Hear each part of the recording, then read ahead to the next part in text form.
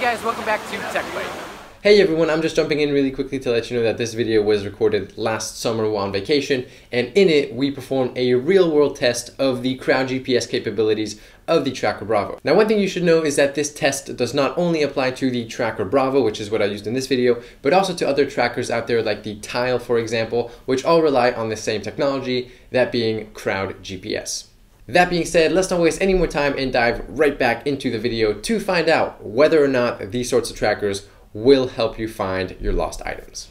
Now Rome is a very crowded area as you can see, so if we're gonna find this tracker, it's gonna be here. So what I'm gonna do here is I'm gonna have my friend Sims from SimsTech take this tracker and hide it somewhere around this square and then see if the crowd GPS, if the people will find this tracker for me. Alright, hey guys, uh, I'm Sims, if you didn't know this, and so I'll be hiding Julian's tracker somewhere in this area there's the fountain and he's gonna see if he can find it. Now it is pretty loud and so using this thing's beeper should be interesting. Yeah. So we'll see what happens. All right, so Bluetooth is going off. Sims, here's some tape. Don't let anybody see you. All right, all right, so let's see if there's a place where we can hide this thing.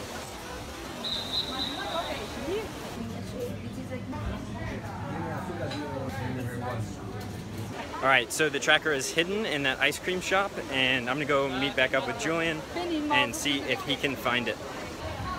Hey, you hide it? All right, it is hidden. Hopefully it doesn't get stolen. Okay, that's good. Did you make sure nobody was looking? Uh, I mean, I tried. Okay, that's good. Hopefully it doesn't get stolen. So the reason we walked away kind of a little bit is so the last seen location wouldn't be where Sims is hiding it. So now I'm gonna go ahead and report this thing as missing. And if it is found, I will get a notification. So now all we have to do is wait.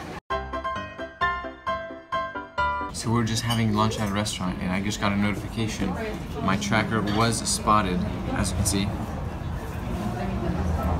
So let's go ahead and see it on the map and hopefully that'll show us where it is. Okay, so I pulled it up on the map and it says it's right at the fountain. Obviously we already knew that, but that shows us that it does work and it's telling us where it is. So we're gonna go there in just a second after we're done eating and see if we can't use the Bluetooth tracking option to get close to it and find it. Hopefully. It's a lot of people. Hopefully none of them found it and took it.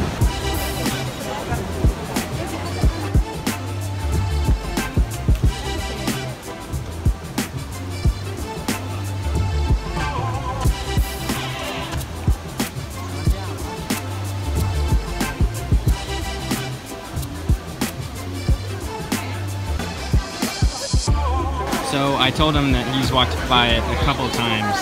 So he's gonna give this whole area right here another pass.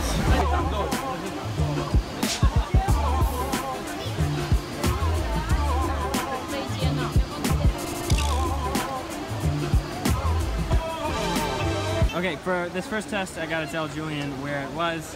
It was in that ice cream place. Inside the oh. ice cream place? Yeah. Well, let's so, see if I can go find it. Let's go in there and see if we can find it. Okay, the hot spot seems to be right here. I'm gonna try ringing it. I heard it. I heard it.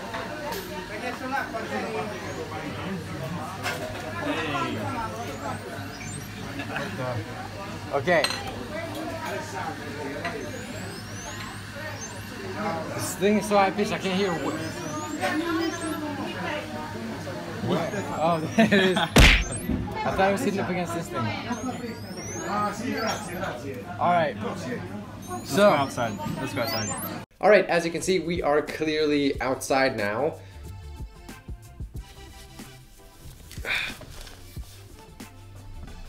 Continuity.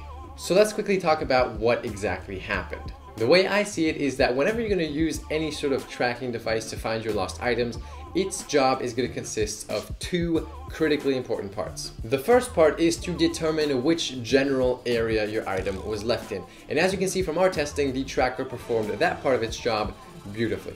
Over the course of just two hours, I got between 5 and 10 notifications letting me know that the signal which the tracker emits had been detected at that square.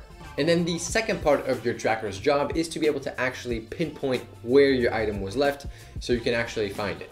In order to do that, most trackers have a built-in speaker which emits a high-pitched tone which will hopefully be able to penetrate the lower atmospheric and ambient sounds. And as you can see from our testing, we were able to find the general area in which the tracker was, but I wasn't able to actually pinpoint its location. Sims did have to tell me that it was inside of the ice cream shop. But that is where you might find the flaw in our testing because most of the time in a real world scenario, things are going to play out a little bit differently. That is because whenever you lose something, you usually just accidentally left something behind somewhere. Unless it got stolen, in which case the tracker would definitely help you find the general area of your item, but actually finding it would take a lot more work. But if you just forgot something, as soon as the tracker gives you the general area in which your item is, you're most likely to remember. Say if you were at a coffee shop, you would remember what table you were sitting at so you would know where to look. And then you can use the Bluetooth signal strength or the beeping tone to actually find your item if you haven't already. Personally, I think that the beeping tone is going to be much more beneficial for those of you who put the tracker on, say, your keys and are trying to find them inside of your house if you just misplaced them. So overall, I think that these trackers are definitely very cool and they're definitely going to give you a much, much better chance at finding your lost items. Although personally, I think that for what they are, they are on the expensive side coming in at like 20 to $30 per tracker, which is pretty expensive. But then again, if the tracker helps you even once or consistently saves time by helping you find your keys faster, I think that it'll definitely have been worth the 20 or 30 bucks. So that is how I feel about these sorts of trackers in general. I hope you found the real world test as well as my opinion on them insightful and helpful. If you did, make sure to click that like button down there, it helps out a bunch. If you have any questions whatsoever, ask them in the comments and I'll make sure to get back to you. And if you think I've earned it, consider subscribing as that would really mean a lot. Other than that, thank you so much for watching this video and I will catch you guys in the next one.